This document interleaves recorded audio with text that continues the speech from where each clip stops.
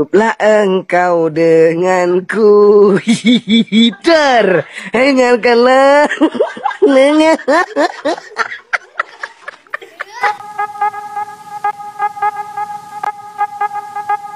Halo CSku, berjumpa kembali dengan manusia Madasudi.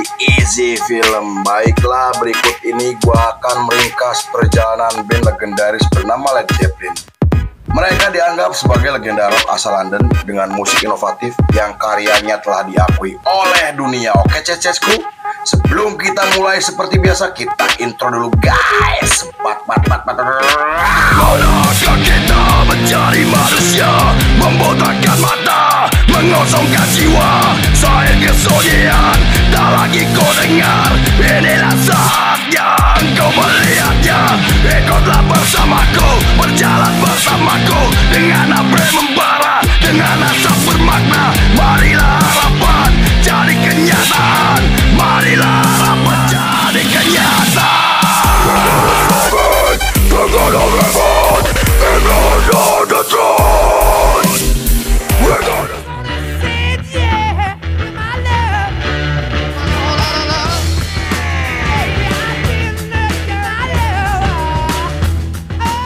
Scene dibuka pada tahun 60-an ketika Jimmy Page bergabung dengan band rock bernama Yardbirds. Bersama band tersebut, Jimmy terus mengasah kemampuannya hingga merilis album pertamanya di tahun 1967. Mereka juga menggelar tur Amerika untuk pertama kalinya yang membuat nama mereka mulai dikenal secara internasional. Saking terkenalnya mereka sampai diundang oleh pemilik label untuk merekam lagu secara cuma-cuma. Namun setelah menjalani tur yang sangat melelahkan, Jim dan Kate Reid mulai sibuk dengan band proyekannya sendiri. Hal itu membuat hubungan Jimmy dan Kate mulai merenggang meski mereka masih berteman. Pada tahun 1968, Jim dan Kate Reid memutuskan keluar dari band karena ingin fokus dengan band proyekannya. Kemudian Jimmy Page dan Chris Dreja melanjutkan bandnya dengan merekrut dua personil baru bernama Robert Plant dan John Bonham. Sayangnya formasi tersebut tidak bertahan lama karena Chris mengundurkan diri dari band setelah mendapatkan pekerjaan sebagai fotografer.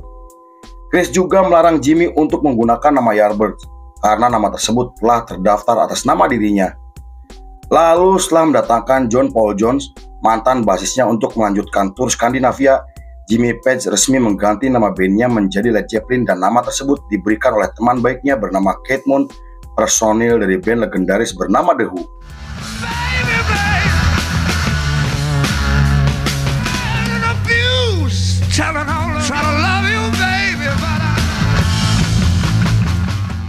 Dengan menggunakan nama barunya, mereka menggelar pertunjukan di London dengan formasi Robert Plant pada vokal, Jimmy Page pada gitar, John Paul Jones pada bass, dan John Bonham pada drum. Mereka kemudian merilis dua album sekaligus di tahun 1969 yang membuat nama mereka semakin dikenal. Bahkan seorang kritikus musik bernama Steve sampai menyebut jika mereka sebagai grup musik blues psychedelic yang sangat mengagumkan. Konon kedua album tersebut memiliki pengaruh besar untuk perkembangan musik hard rock dan heavy metal hingga mereka disebut sebagai band yang menciptakan musik rock metal dengan lirik yang mudah dipahami. Pada tahun 1970 mereka mulai mencapai kesuksesannya setelah merilis album ketiganya yang menjadi nomor satu di tiga negara. Mereka juga menggelar tur Eropa selama dua bulan yang membuat mereka menjadi salah satu band paling berpengaruh di masa itu. Di periode tersebut, mereka mulai merubah penampilan dan aksi panggungnya dengan menggunakan laser hingga efek cahaya. Selain itu, para personilnya juga mulai menggunakan pakaian rumit dan flamboyan yang kemudian ditiru oleh banyak musisi dunia. Bahkan mereka sampai membeli pesawat jet pribadi yang mereka sebut sebagai Starship.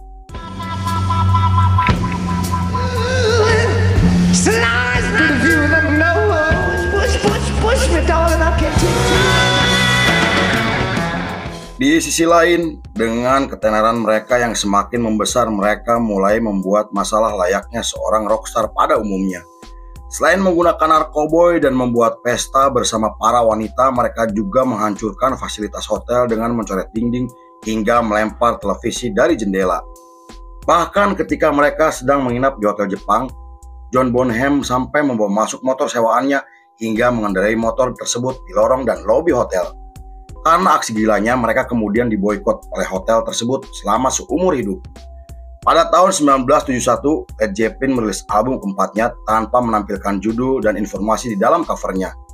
Hal itu mereka lakukan sebagai tanggapan atas pernyataan media yang menyebut jika Led Zeppelin sebagai band yang hanya mencari sensasi. Meski begitu, album keempat mereka terjual sebanyak 30 juta kopi yang membuat album tersebut menjadi album terlaris sepanjang masa. Lalu salah satu lagu mereka menjadi lagu yang sangat populer di era 70-an hingga diputar oleh radio di seluruh dunia. Karena keberhasilan tersebut, para jurnalis sampai menggambarkan jika Led Zeppelin sebagai superstar yang tidak terbantahkan. Sepanjang periode tersebut hingga tahun 1972, mereka menggelar tur ke beberapa negara seperti Amerika Utara, Jepang, dan Australia Konon mereka sering mengadakan pesta seks dan pesta narkoboy dengan para grupis yang mereka temui selama menggelar tur.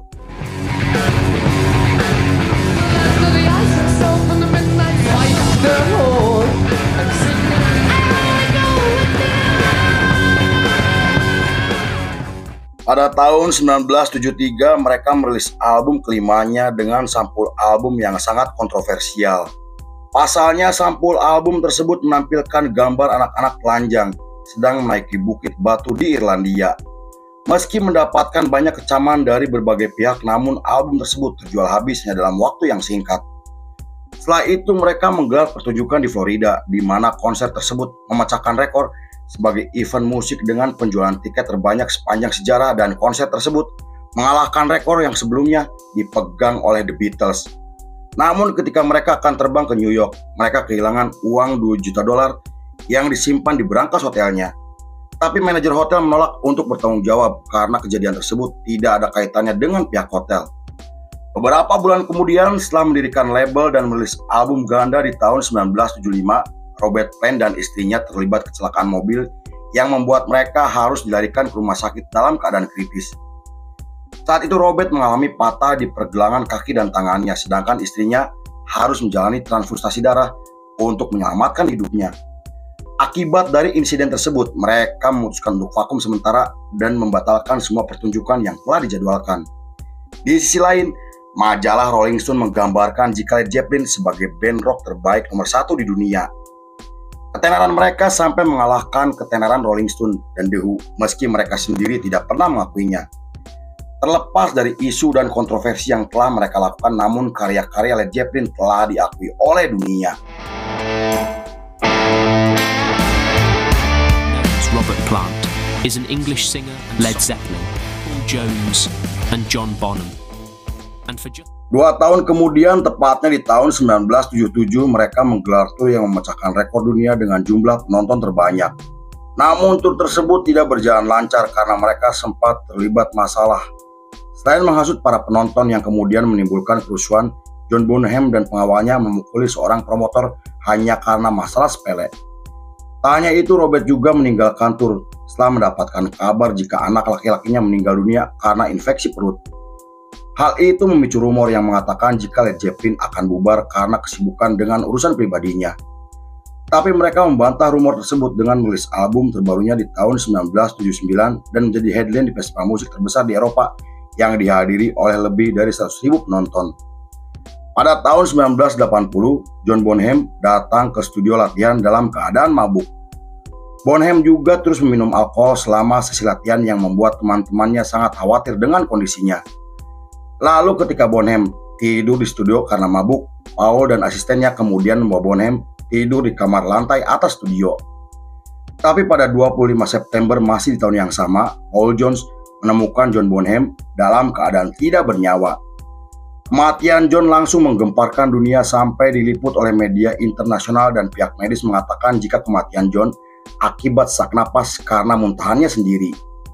Lalu setelah kematian John Bonham yang sangat mengejutkan, Jimmy Page memutuskan untuk membubarkan Led Zeppelin karena berbagai alasan.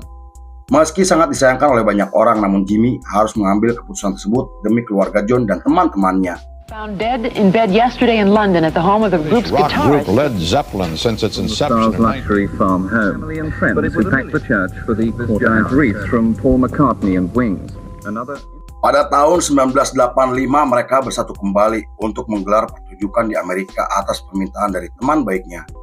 Tapi pertunjukan tersebut harus mengalami banyak masalah hingga Jimmy menggambarkan sebagai pertunjukan paling kacau yang pernah ia alami. Tiga tahun kemudian, mereka muncul di acara ulang tahun Atlantic Records dengan menampilkan Jason Bonham, anak dari mendiang John Bonham.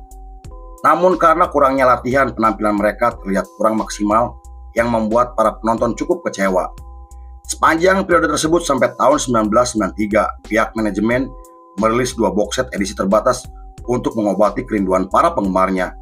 Box set tersebut kemudian menjadi barang langka yang sangat diburu oleh para kolektor di seluruh dunia. Pada tahun 1994, Jimmy dan Robert Plant bersatu kembali untuk tampil di MTV dan merilis album live pertamanya setelah bubar selama bertahun-tahun. Mereka juga menggelar tur dunia yang dianggap sebagai acara reuni namun tidak bersama Paul Jones dan hal itu menjadi awal retaknya hubungan mereka dengan Paul Jones karena tidak memberitahu acara reuni tersebut. Di tengah kemunculan mereka yang menggemparkan dunia, salah satu lagu mereka kembali populer dan menarik perhatian banyak orang. Lagu tersebut diduga menyelipkan pesan satanisme di dalam lirik-liriknya dan konon Robert Penn sempat kerasukan hingga tak sadar diri jika dirinya pernah menulis lagu tersebut. Terlepas dari benar atau tidaknya rumor tersebut, namun beberapa orang percaya jika Led Zeppelin telah bersekutu dengan iblis untuk meningkatkan ketenarannya.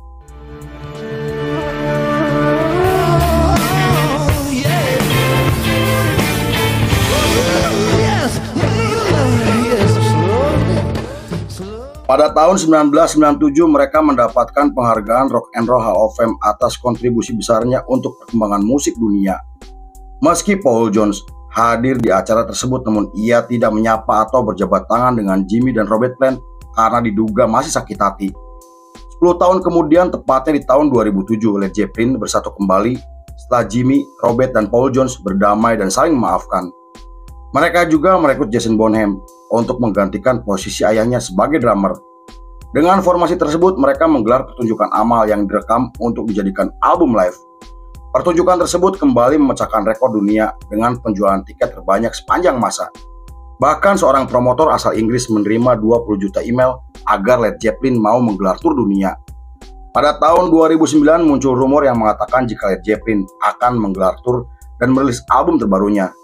Walaupun Robert menolak untuk ikut tur karena sibuk dengan band barunya namun Jimmy kemudian merekrut Miles Kennedy untuk menggantikan Robert sebagai vokalis.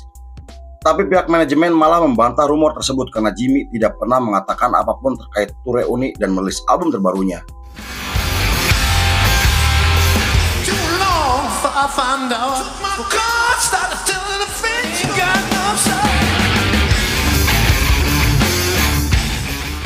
Pada tahun 2014, Jimmy merilis ulang album lamanya dalam bentuk CD dan vinyl dengan edisi terbatas.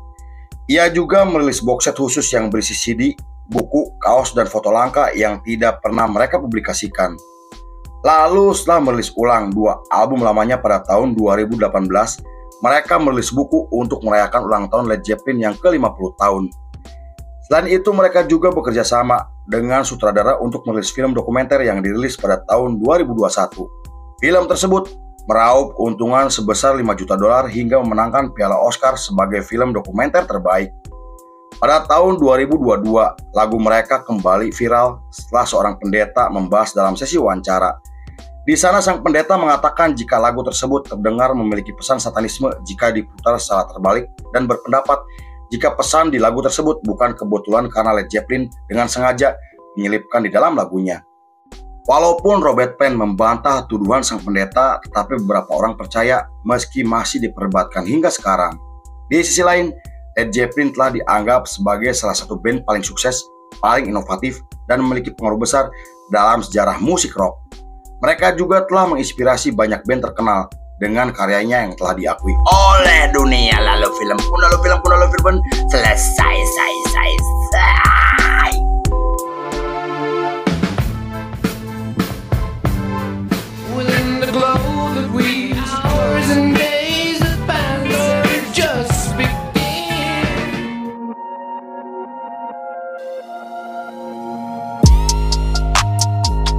Bernyanyilah dengan keras untuk mendapatkan sinar matahari dan berdoalah dengan sungguh-sungguh untuk mendapatkan hujan. Led Zeppelin. Oke, kok terima kasih sudah menyaksikan ringkasan ini gak selesai. Saya beserta jajaran berandal malam kembali pamit undur diri. Sampai jumpa di episode berikutnya. Bye-bye, ya ampura, bye, ya, lalu CSCSku. Yep. Ya.